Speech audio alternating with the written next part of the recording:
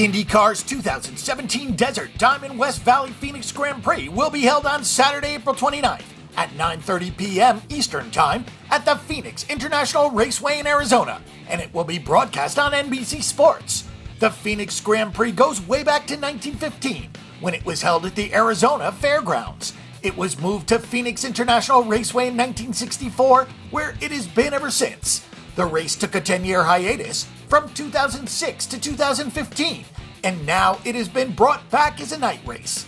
This is also the first of six oval races on the IndyCar schedule for the 2017 season. Phoenix International Raceway is the first oval race of the season, although it is shaped more like a D. It is 1 mile or 1.61 kilometers long. Turns 1 and 2 are banked at 10 to 11 degrees. Turn 3 is 8 degrees of banking, and turn 4 is about the same with the back stretch banked at 8 to 10 degrees and the front stretch banked at 3 degrees. After three road course races, the IndyCar drivers will be happy to be opening it up on this oval. Last year, Brazilian Helio Castroneves won the pole, while another Brazilian Tony Kanaan ran the fastest lap of the race.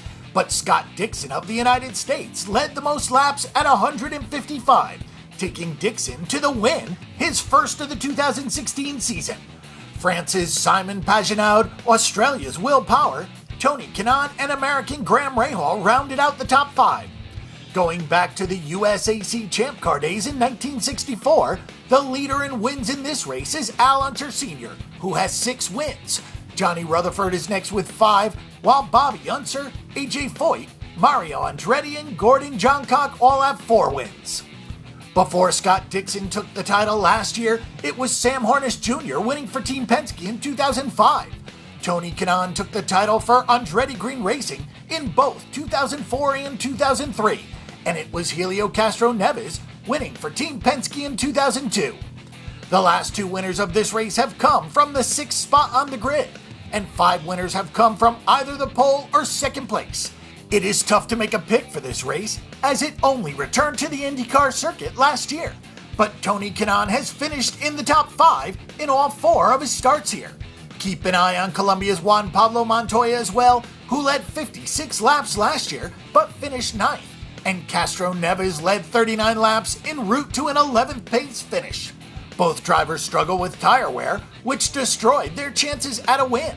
While this race was on hiatus from IndyCar, Juan Montoya drove a stock car in Phoenix and got a top 5 result in 2010. If you'd like to bet on motorsports including NASCAR, IndyCar, Formula 1 and more, there are two different ways to bet. You can bet on the outright winner of a race or the series and you can bet on who will win each individual driver matchup. You can place a bet on the winner of a race by clicking on motorsports, then on NASCAR, IndyCar, or Formula 1 then on futures or pick winner prior to the race, and there you will find a list of drivers to bet on. If a driver is listed at positive odds of, for example, plus 750, that means you could win $750 by placing a $100 wager on that driver. A positive sign usually indicates somewhat of an underdog, but rarely will you see any negative odds on a driver to win a race. If you do have a driver with a negative sign in front of their odds, for example, odds of minus 150, that means that they are a favorite to win, and you would have to bet $150 on that driver to win 100. The second way to bet on motorsports is driver matchups between two drivers, where you only have to choose who will win the matchup between the two listed.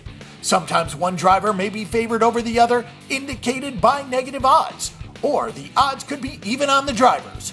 You use the same rules as with the race winner and futures, with plus and minus odds, to calculate your payoff for each and every matchup.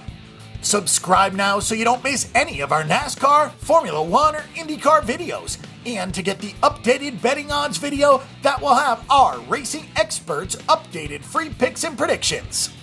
Click over now to check out all the motorsports odds on the board, including Formula One, NASCAR, IndyCar, and more. Make a few wagers at betdsi.com and enjoy the race.